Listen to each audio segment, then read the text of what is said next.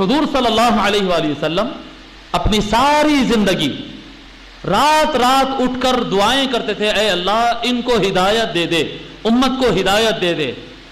तो जिसके लिए हुजूर हिदायत मांगते थे, वो मुस्लिम थे या मुशरक थे, बताओ।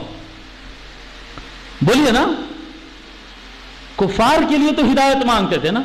दुआ करते अल्लाह, उमर दोनों उमरों में से एक को हिदायत दे। उमर बिन खत्ताब को अल्लाह हिदायत दे दिया। दुआ कंप्लीट हो गई।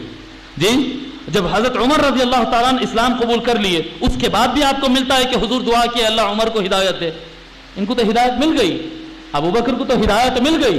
सहाबा को तो हिदायत मिल गई रज़ी अल्लाह अजमाइन फिर ये हुजूर जो रातों में उठकर दुआएँ करते थे, जिनके घरों पे जाते थे, जिनके साथ हुस्न सलूक करते थे अच्छा मामला करते थे, ये थे कौन लोग? ये सारे मुशरकिन थे।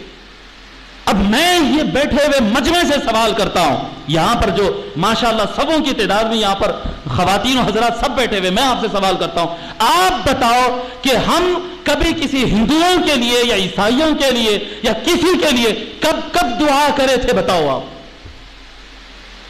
हम दुआ करते नहीं, हम मुकाबला कर रहे हैं। ज़िंदगी भर यही करते रहो, ना वो मुसलमान होते, ना हम सही मुसलमान हो सकते। हमारा सही मुसलमान होना यह है कि हम उनसे मुकाबला नहीं करना, हम उनको अपना सगा भाई समझ लेना। हम वतन, वतनी। सगा भाई मतलब खून का सगा भाई नहीं, वतन का सगा भाई मान लो। भाई, वतन एक है ना हमारा। हमारी ये मिट्टी है ना?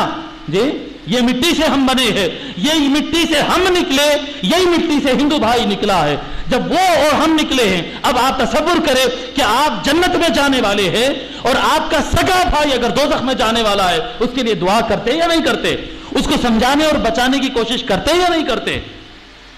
तो अब, या फिर मुकाबला करते उसको कि जन्नत में बड़ा प्लॉट मेरा होगा तेरे को तो लात मार के दो में गिराऊँगा। ये करते भाई के साथ। क्या करते अपने भाई के साथ?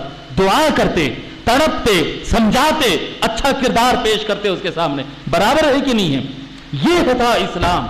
और जब तक मुसलमान काम करते रहे। लोग सबों हज़ारों लाखों की तादाद में इस्लाम कबूल भी करते रहे। कबूल भी करते रहे। आज माहौल बदल गया।